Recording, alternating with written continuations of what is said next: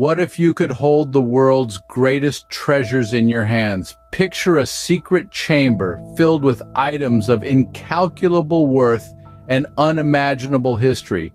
In this chamber rests Aristotle's lost book, Beyond Metaphysics, a manuscript that delves deeper than reality itself, exploring realms of thought that even the great philosopher dared not tread.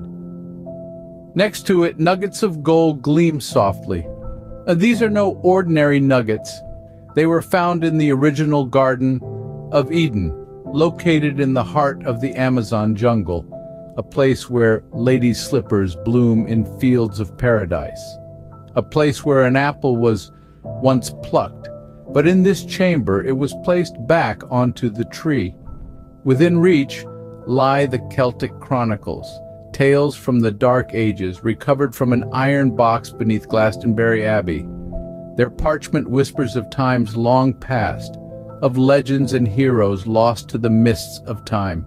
In the same chamber rests the Holy Grail itself, retrieved from the tomb of the Holy Sepulchre, alongside a sliver of the true cross and a small vial containing a drop of the Virgin's milk.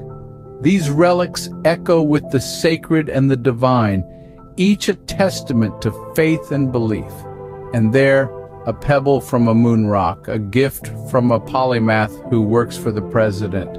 It is a piece of the cosmos, a fragment of the vast, unexplored universe that we're a part of. Among these treasures, you will find a cricket, not just any cricket, but crick, a smart thinking and talking cricket. He is a reminder of the wonders of life itself, of the intelligence and consciousness that dwell within even the smallest of creatures. Amongst these artifacts, a few molecules of immortal air are sealed away, taken from a pyramid chamber in Egypt. This air breathed by pharaohs, by builders and slaves, now trapped in time. Nearby, Secret papers retrieved from the shaft of the bottomless CIA trash pit of things that never happened lie. These papers whisper of secrets, of events that never took place, of truths that were never revealed. Outside the window a rosebush blooms, a descendant from Omar Khayyam's rose garden. Its petals are a testament to the beauty of nature, to the resilience of life. In the corner stands Flamberge, Prince Valiant's singing sword, a twin to Excalibur. It sings songs of valor and courage of battles won and lost.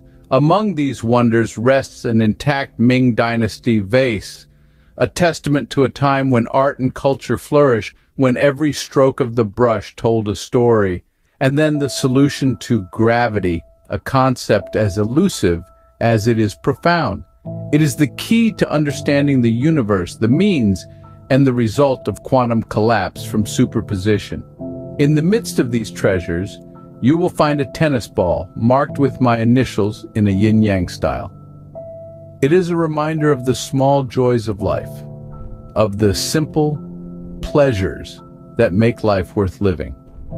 In one hand, a part of a brick from Nero's recently discovered revolving banquet hall that kept pace with the turn of the earth. It is a piece of history, a fragment of a time when emperors ruled and feasts were grand, and in the other hand, a bone from early sapiens or of proto-man. It is a reminder of our roots, of our journey as a species.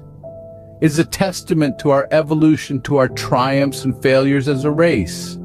This chamber of treasures is a journey through time and space, a testament to the wonders of the world, and a reminder of the mysteries that still lie ahead. Each treasure has a story, a tale of discovery, of curiosity, of wonder. Each one is a piece of the puzzle that makes up our world, our history, and our future.